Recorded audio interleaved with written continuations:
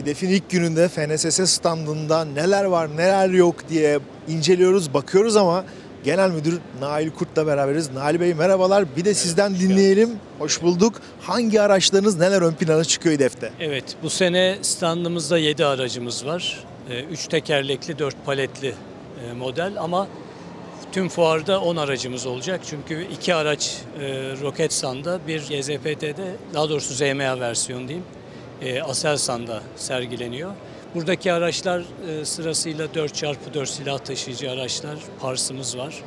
E, arkasından özel kuvvetlere teslimi tamamladığımız e, 6.6 Pars 4 versiyonu var. Arkanızda gördüğünüz e, özel maksatlı taktik tekerlekli araçlar e, sözleşmesi altında ilk prototipi üretilen 8x8 Pars izci e, modeli. E, yine yanımızda gördüğünüz gibi bir hibrit e, 20 ton e, modelimiz var. Bu da STA gövdesi üzerine. E, onun yanında uzaktan komutalı biliyorsunuz gölge süvari aracımız. Onun yeni özellikleriyle birlikte buraya getirdik. E, onun yanında e, meşhur Endonezya'ya ihraç ettiğimiz e, hafif tank ve ondan sonra da yine teslimatları başlayan ve inşallah Eylül ayında en geç tamamlanacak ZAHA araçlarımız burada standımızda. Şimdi tabii e, kara araçlar açısından hem Türkiye hem dünya çok hareketli günler. Bir ülkemize bakarsak önümüzdeki dönem içerisinde hazırlandığınız projeler var. Nasıl görüyorsunuz FNSS olarak Türkiye pazarını? Türkiye pazarı büyük ama hani pazar derken bile zorlanıyorum. Bizim için pazar değil hani bir e, hizmet alanı diye görüyoruz biz. E, aynı şekilde arkadaşlarıma da söylerim hep yani müşteri lafı ağzımızdan pek çıkamıyor. Yani kullanıcımız ve e, Omuz omuza çalıştığınız Evet, tabii tabii tabii. Diğer terimleri yurt dışında fazla fazla kullanıyoruz biz.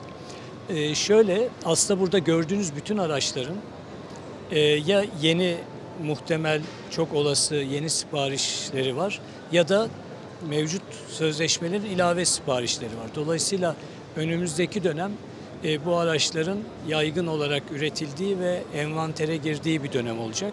Bunun yanında benzer veya daha üstün nitelikli araçların da e, ihaleleri var.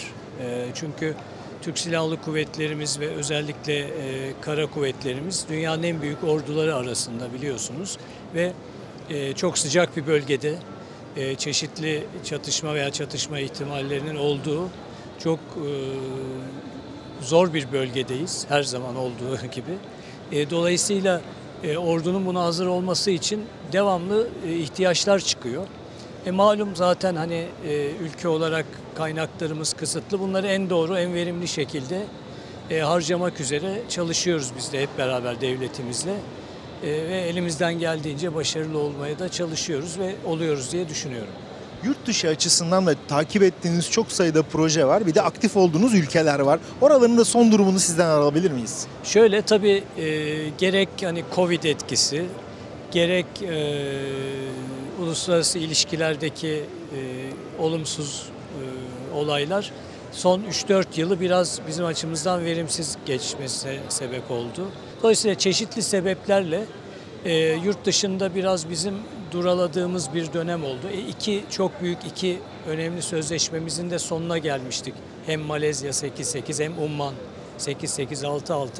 Dolayısıyla yeni projelerin de e, çok bu dönemde filizlendiği bir süreç yaşadık. Yine önümüzdeki dönem özellikle 2024 ve 25 ve sonrası da çok ciddi ihracatların kapısının açılacağını hep birlikte göreceğiz diye düşünüyorum. Sizlere başarılar ve iyi fuarlar diliyorum. Sağ olun, sağ olun. Teşekkürler sizlere de.